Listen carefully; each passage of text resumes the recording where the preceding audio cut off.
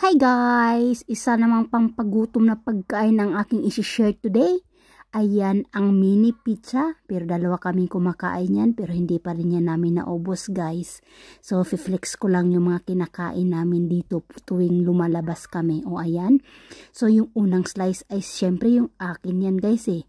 So, yung pangalawang slice guys is para dun sa kaibigan ko nakasama ko na Korean. So, yan siyang taga-slice. At ang pangalawa guys, ito na yung mina, pinaka main dish.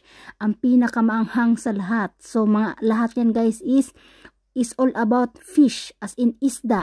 And nandito naman tayo guys sa pangatlong slideshow is is tart, is egg tart. So dahil kumain na tayo, is magdi-dessert na tayo ngayon with matching coffee and hot chocolate at saka tsaa. So, yung mga coffee lover dyan at saka mahilig sa mga coffee shot, mega mega shout out sa inyong lahat. And thank you, thank you for watching for my short and memorable videos. All is all about mga foodie. Annyeong!